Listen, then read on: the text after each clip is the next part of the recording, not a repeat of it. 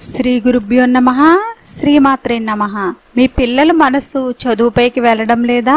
చదువు చదువు అని మీరు ఎంత చెప్తున్నా వారి మనసు చదువుపైకి వెళ్ళకపోతే మన కోసం మాత్రమే వారు పుస్తకాలు ముందేసుకుని కూర్చుంటూ మనస్సు మాత్రము చదువు మీదకు వెళ్ళకుండా పుస్తకాలు ముందేసుకుని వేరే వేరే ఆలోచనలు చేయడము ఇటువంటివి చేస్తుంటే మీరు చిన్ని రెమెడీని చేయండి.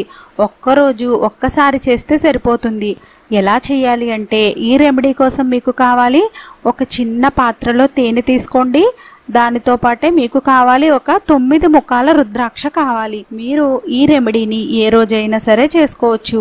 మీరు ఎప్పుడు ఈ రెమెడీని చేయాలని అనుకుంటున్నారో దానికి ఒక రోజు ముందు మాత్రము రాత్రి అంతా తేనెలో రుద్రాక్షను వేసి అలానే ఉంచేయండి. మీరు సోమవారం రోజున రెమెడీని చేయాలి అని అనుకున్నట్లయితే మీరు ఆదివారం రాత్రి అంతా కూడా రుద్రాక్షను తేనెలో వేసి అలానే వదిలేయాలి. మీరు సోమవారం ఉదయాన్నే మీరు ఆ తేనె ఉన్న పాత్రను తీసుకుని శివాలయానికి వెళ్ళండి.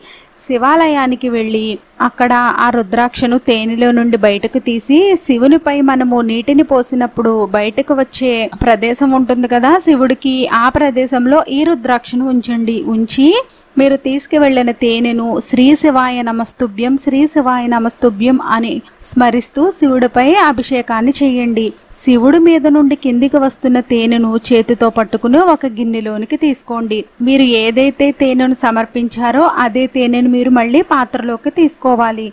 ఆ తర్వాత శుద్ధ జలంతో భగవంతుడికి స్నానాన్ని చేయించండి. స్నానం చేసిన తర్వాత మీరు పాలు పెరుగు బిల్వ పత్రాలు మీరు స్వామివారికి ఏమి సమర్పించుకోవాలని అనుకుంటున్నారో వాటిని స్వామివారికి సమర్పించండి. సమర్పించిన తరువాత మీరు ఆ తేనెను తీసుకుని ఇంటికి వచ్చేయండి. మీరు శివుని వద్ద ఉంచి తీసుకువచ్చిన తేనెను పదకొండు రోజుల పాటు వరుసగా మీ పిల్లలకు పెట్టండి. రెండు మూడు చుక్కలను తినిపించండి సరిపోతుంది. రోజులో ఒక్కసారి తినిపిస్తే సరిపోతుంది. మీ పిల్లలలో వచ్చే మార్పుని మీరే గమనిస్తారు. వారికి వారే పుస్తకాలు తీసి చదవడం ప్రారంభిస్తారు. మళ్ళీ రుద్రాక్షని ఏం చేయాలని అడగకండి. రుద్రాక్షను అక్కడే శివుని వద్ద వదిలేయండి. రుద్రాక్ష ఎక్కడ పెట్టాలి అనే విషయాన్ని నేను మీకు స్క్రీన్ మీద ఫోటో రూపంలో చూపిస్తాను. మీరు రుద్రాక్షని శివలింగం వద్ద ఆ ప్రదేశంలోనే ఉంచండి. మీ పిల్లలకు రోజు శ్రీ శివాయ నమస్తుభ్యం అంటూ ఈ తేనెను తినిపించండి.